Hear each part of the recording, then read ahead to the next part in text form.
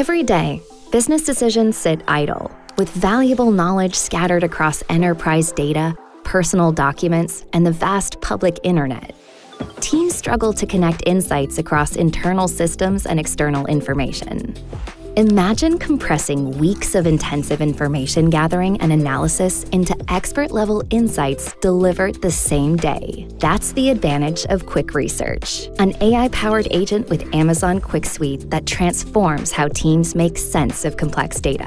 From performance optimization to competitive analysis and risk assessments, Quick Research handles a wide range of business challenges. Simply input an objective using natural language and watch the agent break it down into a structured set of research topics. Pivot direction, add feedback, upload documents, or explore deeper, dynamically steering the research in real time to address your exact needs. Behind the scenes, Quick Research is hard at work aggregating and synthesizing data from your organization's most relevant sources, weaving together findings from internal documents, dashboards, business applications, web search, and even specialized premium third party datasets. The outcome? A comprehensive report offering multi layered contextual insights delivered with unprecedented accuracy and depth. Quick Research excels in transparency and adaptability. With a single click, you can trace the path from data to conclusion and validate findings through original sources.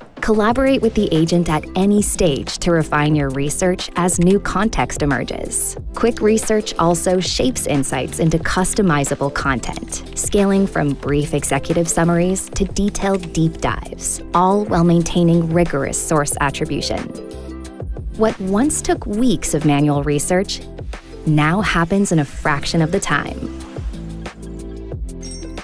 And because Quick Research is part of Amazon Quick Suite, you can seamlessly share results and collaborate with your team in one unified space, moving confidently from research objectives to strategic action. Learn more today